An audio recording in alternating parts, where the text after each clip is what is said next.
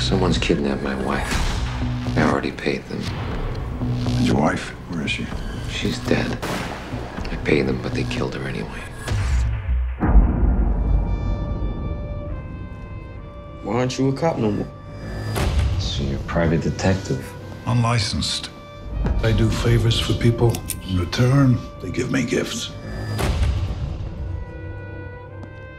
You've dealt with situations like this. Not like this.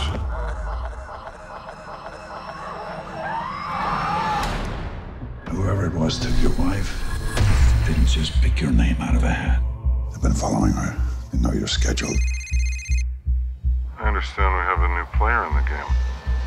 You want your money, or you want to be looking behind you for the rest of your worthless life?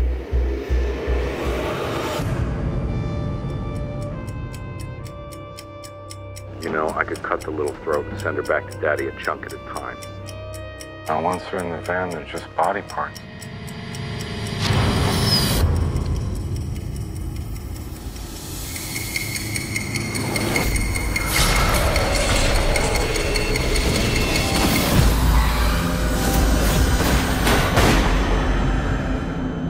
Not human.